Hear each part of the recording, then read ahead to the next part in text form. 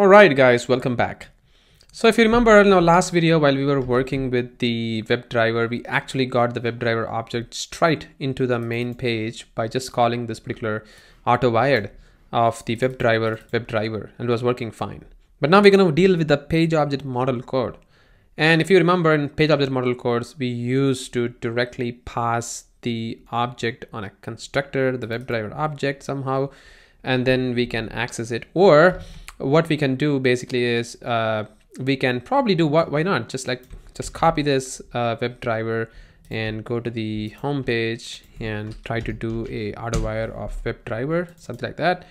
Uh, and then uh, we just go to the constructor here and then we'll just do the page factory dot init element of WebDriver comma this this is the page that we are going to be dealing with and i'm going to go all the way to the uh, login page. I'm to do the exact same thing over here just that this is to be a login page. I'm just to do this guy. Um, so you can see that if i do that it is to tell me that this value WebDriver is always going to be null. Um, even though we're doing an auto wire, uh, you may expect that particular object is to be coming up for you over here, right? Because it's auto wired, this bean is already created. So why not we can just use it uh, straight into our code. So let's see what's going to basically happen. I'm not just going to do anything at the moment. So let's see what's going to uh, basically happen. So if I just do that and it throws us an error. So if I just go back all the way, it says that there is a null pointer exception.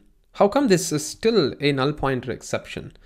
While we have auto wired the uh, WebDriver, we created a WebDriver object and we have the WebDriver object uh, on this particular guy. We're trying to navigate and it's working fine because this is a WebDriver already sitting on the container. Why can't we just try uh, working with this particular same WebDriver object on this particular class if we just do an auto wire? why can't it just use or why can't it just run that way uh, where it is always expecting me to to be supplying that particular WebDriver object. Why didn't it really work well the answer to this question is you have actually created the auto wired meaning you are trying to do an injection. You're creating a injection on the particular property but every time this particular property in every class file is actually trying to inject as well while it doesn't really have the object for the WebDriver which has been created on this particular navigate.to method which is going to perform the WebDriver's actual functionality. It is not going to have that particular stuff for you on this particular class file. So you need to somehow do an real initialization in Spring Boot. So in order to understand this particular problem, we actually need to go back all the way to one of the website which actually explains the bean life cycle. So bean life cycle is something that's going to give us more idea of what's really happening over here. Even though the bean is being constructed, we auto wired it by injecting the field level initialization, but still it actually didn't work out for us. So if we go to this particular spring bean lifecycle, let me turn this into a reader only mode, you will see what I really mean. So it tells you this article like how to do in java.com website. Uh, thanks for this article. Uh, so I'm just going to reuse that just to save my strokes on the keys, uh, just to reproduce the same article because this looks pretty interesting. You can see that they say when a container starts, a Spring Bean needs to be instantiated based on Java or XML bean definition. So it may be required to perform some post initialization steps to get it uh, into a usable state. Same bean lifecycle is for the Spring Boot application as well. So you can see the lifecycle uh, have all these things like post initialization callback methods and pre-destruction callback method. So they have a lifecycle diagram. So we have a container which is going to be holding a disposable bean destroy and then calls a custom destroy method. This is for the destroy destruction pur purpose. Whereas for the instantiation, they used to have what is called as a populate properties, bean name aware, set bean name, set bean factory, bean post processing, and the after property set. Uh, so basically, if you just get confused with this article a lot, all we're going to be focusing especially on this particular bean is the post construct and the pre-destroy annotations.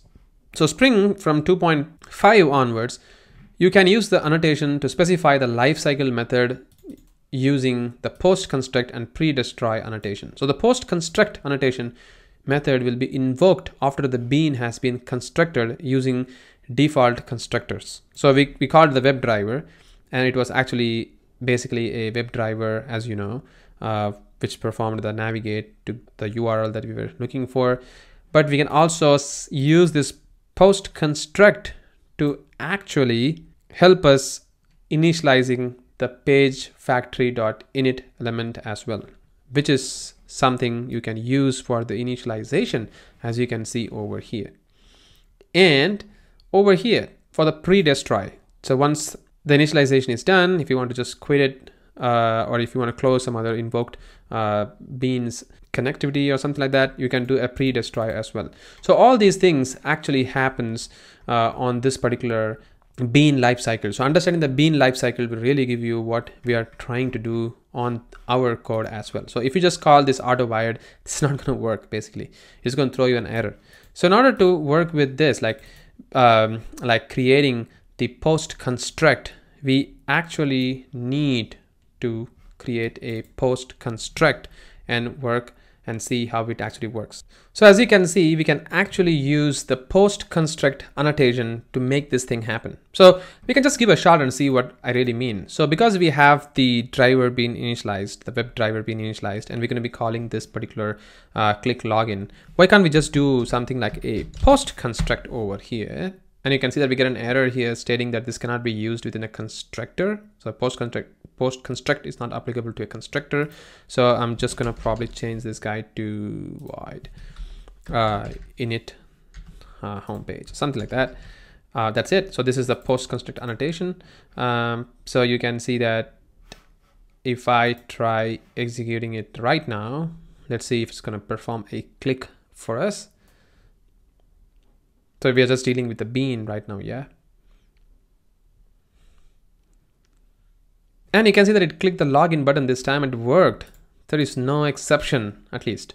So this is what it is. I mean, if we call the post construct, then we could actually achieve the same operation that we're looking for. So we can just use this post construct, not just in one place, we can also use it in other places, like wherever that we will be using, like within the login page. Uh, we can just use this at post construct.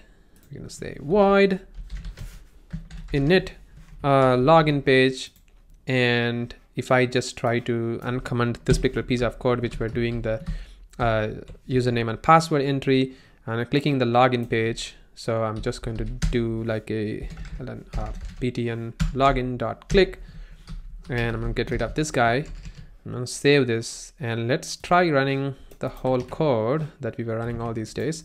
So you should perform the username and password entry as well, along with clicking the login link this time.